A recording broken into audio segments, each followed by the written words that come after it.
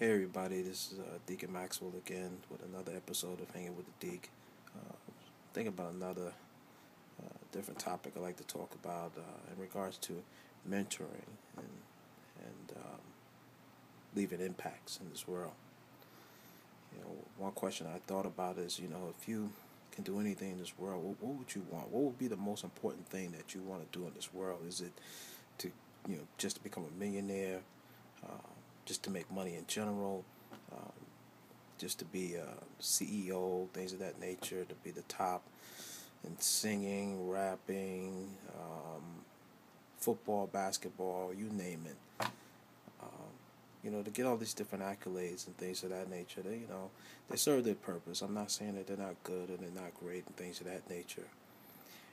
But one of the things that gives me great joy is the fact that I get to mentor um, young men and, and young women uh, in this world.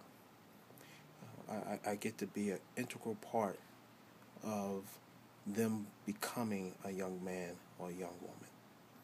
And through that, through through the mentorship that I'm able to provide for them, it helps them to think about certain things in a different way.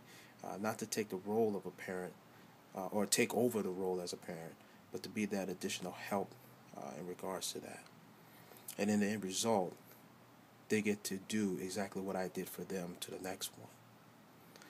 That's leaving a legacy. That's really leaving an impact. Uh, the money will come, the money will go. Sometimes the money can stay. Who cares? Uh, but at the end of the day, when when the Lord let me know that my time is near, or if He does, um, when I'm laying in that bed for that final hour, or final week, or whatever, I'm not going to spend time trying to grab all my trophies, getting my bank accounts, grabbing money, holding my uh, different awards and accolades. I'm going to be spending time reflecting back on what impact did I left in this world? What dent did I make in this world? Who did I help one at a time? And then also my family. Because I can't spend all my time doing all these different things and just leave them behind defeats the purpose. So the point I'm trying to say is, you know, what do you really want to do in this world? Who are you really trying to help? I think once when you start figuring that out and you line yourself up with what God have you to do, hey, there's nothing you can't do. That's all I got for right now. Take care. God bless.